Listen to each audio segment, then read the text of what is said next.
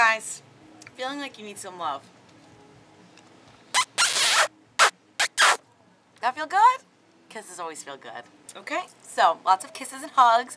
We spread the love around today. I feel like there's not enough love in the world. Okay? So, um, Britney Spears' creepy ex-manager, Sam Lutfi, he didn't show up for court the other day, but the judge said three years. Don't go near our girl, Brit Brit, for three years. So that restraining order is a nice hefty amount of time, and we're happy, you know? She's doing well. Stay away from her. Keep it up, Brit.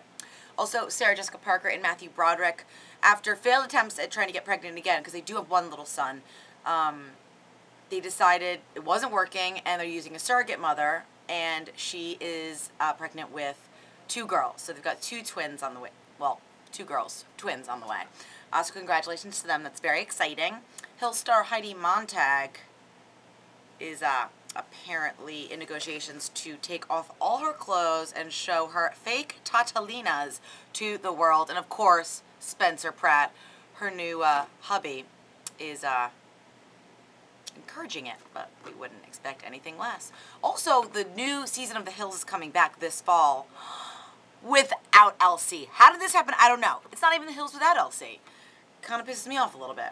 I mean, I'll miss her. I might even, uh, what is it, go, go on strike and not, and not watch. It's not The Hills without my girl. Uh, Mel Gibson made his first public appearance. He stepped out with the other woman, uh, the model girlfriend of his that is claiming she's pregnant with his eighth baby. Guess the secret's out. Hulk Hogan's ex, Linda, man, Linda is just, she is going down the wrong path. She's asking for her monthly payments from Hulk to be up to about $24,000. Bleeding the Hulkster dry, girl, okay? Lay off. Uh, the Real World Cancun's production was halted because of the swine flu. Yeah, the swine flu is affecting everybody. Everybody's just overreacting, I think, a little bit. So uh, I don't know if we'll even see the Real World Cancun. I guess we'll have to wait and find out. Uh, poor Hugh Hefnerman. Allegedly, he wants uh, Holly Madison back. That was his number one girlfriend on The Girls Next Door. And, you know, she's been with uh, Criss Angel now and a couple other guys she's dated. And Hef desperately wants her back. And I say, do the freaking poor guy a favor. It's not going to be that much longer. You and I know it. He's 83. Throw the guy a freaking bone. Ex-Danity Kane singer Aubrey O'Day is taking Tila Tequila's Tila Tequila's place on, you remember the show on VH1, A Shot at Love, and she had the whole bisexual thing going on. She had girls and guys fighting for her love and attention.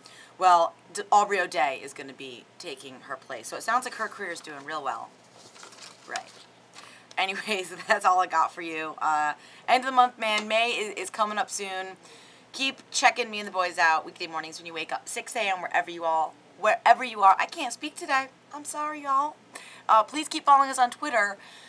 Follow Mashup Nicole, Mashup Nicole, and Mashup Nicole. Uh, also Mashup Ryan, Mashup Rich, and Mashup Stanley T. And be our friend on Facebook. Search out The Morning Mashup. Mashup's two words. I'm out. Mushy mushy.